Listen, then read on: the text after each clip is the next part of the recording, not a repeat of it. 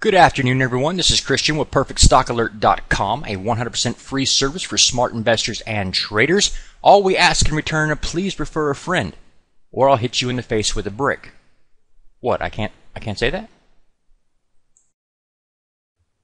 Today we'll be looking at the spinning top candlestick pattern. The spinning top has a small body with a wick protruding from the top and the bottom, and the wicks will be longer than the body itself. Uh, if you were to actually measure this, you'd find the wicks are longer in both the top and the bottom.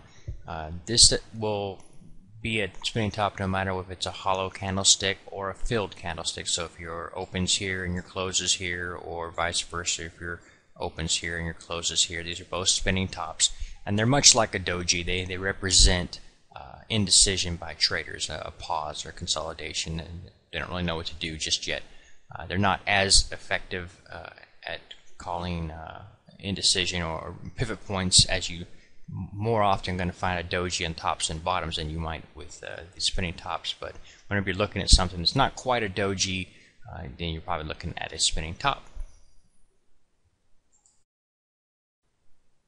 Please take a moment to review our disclaimer. The information provided herein is our opinion only. Under no circumstances do any statements here represent a recommendation to buy or sell securities or make any kind of an investment.